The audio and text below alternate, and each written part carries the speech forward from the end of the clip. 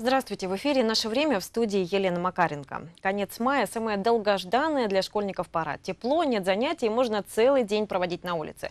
Но именно в это время на дорогах края особенно увеличивается аварийность с участием детей.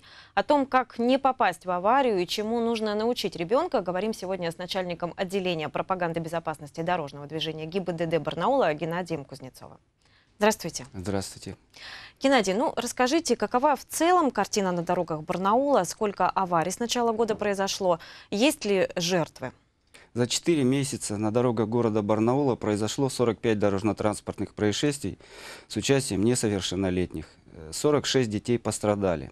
Из них 21 ребенок являлись пешеходами, получили травмы, переходя дорогу и по пешеходному переходу 13 человек переходили, получили травмы. Остальные э, во дворовых проездах. И 24 ребенка у нас пострадали в качестве пассажиров.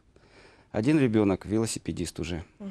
Геннадий, если проанализировать все эти аварии, то скажите, что чаще всего становится вот причиной а, аварии именно с участием детей? Если рассматривать конкре конкретные случаи вот, ДТП на пешеходном переходе, то здесь дети, как правило, бегут через дорогу. Ну, это объясняется их психологией. А водители не успевают вовремя среагировать, остановить автомобиль и допускают наезды на пешеходов. Поэтому здесь нужно, мы всегда э, детям объясняем, когда проводим с ними беседы, нужно убедиться в безопасности своего перехода, что водитель видит и останавливается, пропускает, только после этого шагом переходить дорогу. А ну вот... и особенно опасно это переезжать на велосипеде по пешеходному переходу. Вот вы сказали, мы все время объясняем детям какие-то такие вещи, да, правила дорожного движения. На ваш взгляд, с какого возраста нужно проводить беседы с детьми или, может быть, все-таки основной упор нужно делать на воспитание родителей? Э, ну, с, с рождения нужно воспитывать ребенка. Ну, его же учат ходить и он уже становится пешеходом. Э, а пешеход должен соблюдать правила дорожного движения. И поэтому, в первую очередь, родители должны показывать пример дисциплинированности на дороге. Переводя ребенка через дорогу, рассказывать о правилах. Вот смотрите, зеленый сигнал загорелся, посмотрели по сторонам, идем через дорогу. Машина нас пропускает. Ребенок это все запоминает и в дальнейшем поступает так же. Но когда родители спешат, на работу или куда-то в садик быстрее отвезти ребенка нужно, бегут через дорогу на запрещающий сигнал светофора. Это же, конечно же, неправильно. Ребенок это может подумать, что так-то все-таки можно поступить. Сами родители виноваты во многом, да? Во многом, да. Это поведение родителей, это э, лучший пример для ребенка. И mm даже все вот эти наши усилия, которые мы проводим, и акции, и всякие различные беседы, и в школах у них занятия по правилам дорожного движения, все они могут сойти на нет, если родители будут показывать отрицательный пример. Геннадий, ну вот вы уже коснулись э, темы школы, воспитания в школе. Я знаю, что практически ну, в каждом учебном заведении проводятся классные часы, есть уголки, посвященные правилам дорожного движения. Но вот все-таки в целом, насколько эффективны такие методы? Методы воспитания? Ну, конечно, их надо проводить, эти мероприятия, особенно перед э, каникулами школьными. Мы всегда э, проводим акцию «Внимание, дети!».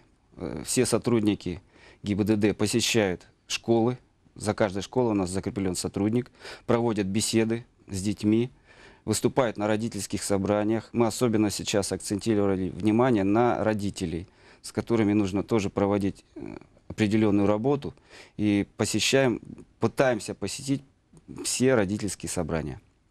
Какие-то разъяснения даете родителям? Конечно, да, разъяснения родителям именно вот в том, чтобы как э, научить ребенка вести себя безопасно на дороге во время каникул, свободное время, потому что дети будут большинство предоставлены сами себе.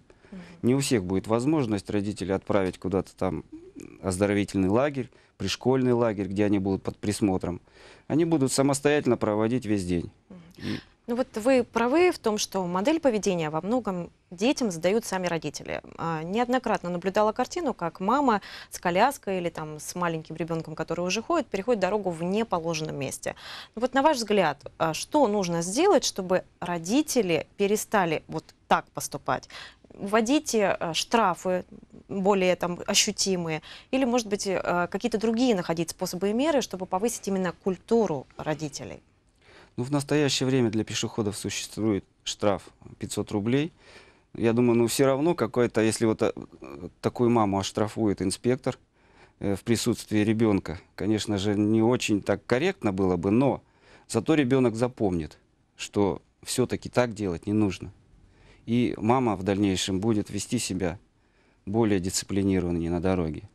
Ну а на родительских собраниях, я еще раз повторюсь, мы показываем видеоматериалы с дорожно-транспортных происшествий, какие их последствия, чтобы родителям как бы было доходчивее, и все-таки они восприняли наши слова и поступали как нужно, как правильно.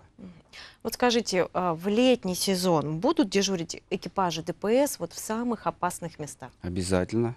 В местах, где у нас, например, парки, притяжение детей большое, посещение, э, детские какие-нибудь учреждения, куда будут дети приходить, проводить там досуг свой, в тех местах э, на пешеходных переходах будут дежурить инспекторы ДПС.